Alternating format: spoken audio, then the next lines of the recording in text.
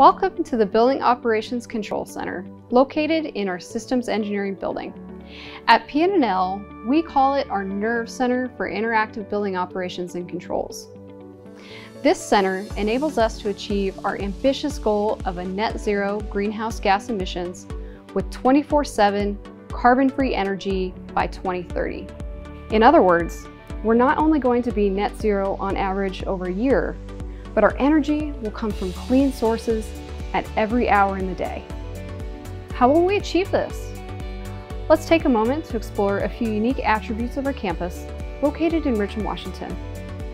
First, we have a strong partnership between our scientists and engineers and our professionals who manage our facilities and operations. This includes our union workforce. This collaboration allows us to take technology being developed through our research programs and deploy it right here across our campus to improve operations, using our own campus as a living laboratory. Second, we partner with our local municipalities to provide utilities directly to the point of service. This provides us highly reliable services at a more efficient cost. And finally, we have proudly demonstrated our enduring commitment to excellence and sustainability we have been recognized by the U.S. Department of Energy and other entities, receiving numerous awards over the past decade.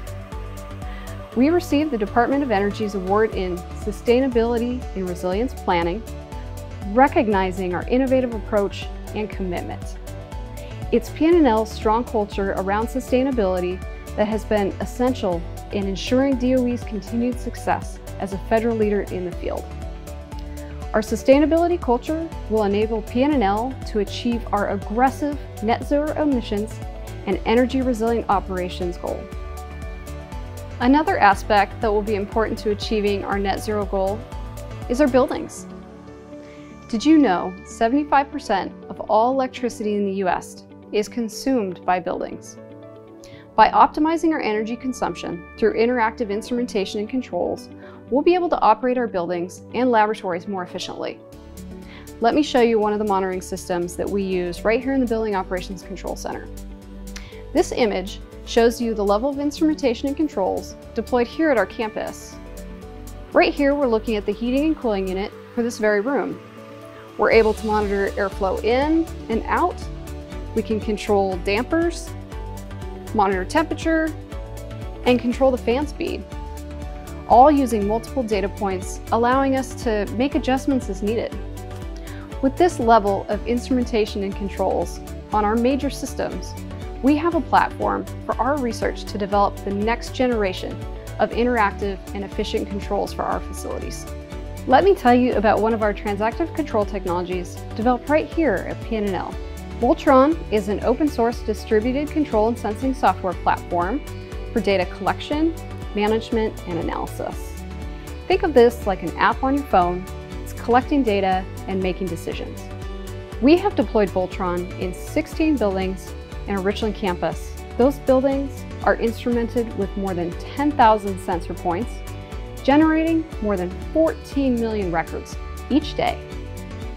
This data has allowed us to reduce energy use and consumption by facilities between 10 and 20 percent we can quickly address operational issues and identify where we need to make system modifications or changes as we continue to invest in our campus. VOLTTRON is also being used in other locations across the nation, such as Penn State University, University of Toledo, Spokane, Washington in the South Landing Eco District, and the City of Washington, D.C.'s Department of General Services.